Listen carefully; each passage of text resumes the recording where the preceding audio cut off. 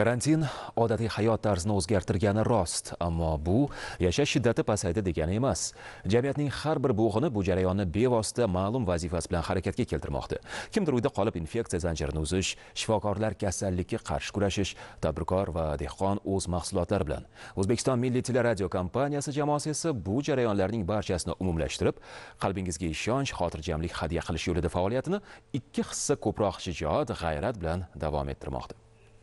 Shu kunlarda koronavirus pandemiyasiga qarshi kurashda butun xalqimiz birlashib harakat qilmoqda mamlakatimizda koronavirusga qarshi kurashish bu sinovli davrida xalqimizni har tomonlama qo'llab quvvatlash borasida prezidentimiz rahbarligida olib borilayotgan ulkan ishlar aniq chora tadbirlarni amalga oshirish jabhasiga o'zbekiston milliy teleradiokompaniyasining ahil va serg'ayrat jamoasi ham o'z hissasini qo'shishga harakat qilmoqda.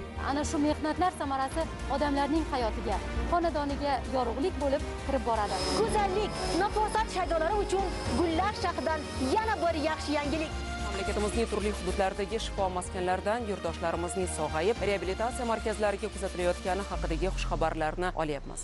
So'nggi voqealar rivoji tojdor virus etimologiyasi insoniyat unga qanday barham bermoqchi dunyoda va o'zbekistonda har soniyada o'zgarayotgan raqamlar. Ekran tomon qadalgan millionlab nigohlar har bir o'zgarish voqea hodisadan birinchilar qatorida xabardor bo'lishga haqli.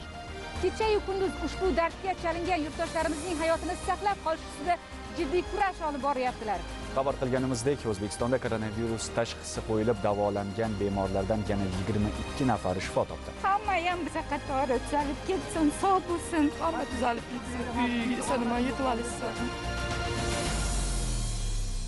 o'zbekiston milliy teleradio kompaniyasi 7 kun 24 soat shu yo'lda. Biz yurgan manzillar bugun respublika bo'yicha jadallik bilan olib borilayotgan qurilish jarayonlari kasallanish bilan kurashayotgan fidoyi shifokorlar orasida ham bizning jamoamiz vakillari bor.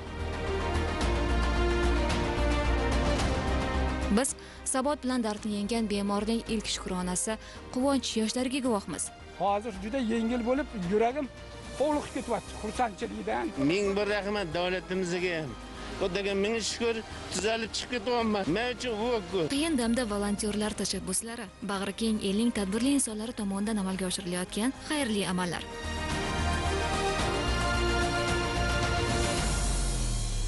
Shuningdek onlayn maktab ilovasi orqali ta'limni davom ettirayotgan farzandingiz muvaffaqiyati ham e'tiborimizdan chetda emas bularning barchasi xonadoningizga yaxshi xabarlarni birinchilardan bo'lib yetkazish sizning xotirjamligingiz ilinjida amalga oshirayotgan ishlarimiz. Qiyin epidemiologik vaziyat sabab teleradio kompaniya jamoasi ma'lum vaqtga ma'lum miqdorga qisqardi. Ammo bu ish ko'lamida o'z ta'sirini namoyon qilgani yo'q. Dastlab teleradio kompaniya tizimida har bir xodim salomatligi yo'lida tegishli choralar ko'rildi. Bunda vaziyatdan chiqishning yangi noan'anaviy usullari asosida hududning har bir qarich yeridan unumli foydalanildi. Bugun aholi e'tiboriga havola etilayotgan rang barang loyihalar o'zbekiston milliy teleradiokompaniyasi atalmish katta oilaning shu yo'ldagi sa'y harakatlari. Ha mavjud imkon va talablardan kelib chiqib tashkil qilingan ko'chma studiyalar. Ularda yo'lga qo'yilayotgan jonli suhbatlar bular og'ir damda xalqqa taskin dalda bo'lish mas'uliyati bilan tug'ilayotgan yangidan yangi g'oyalarning amaldagi natijasi aslida. Bugungi kuni kechada ertadan kechgacha uyda o'tirganlar uchun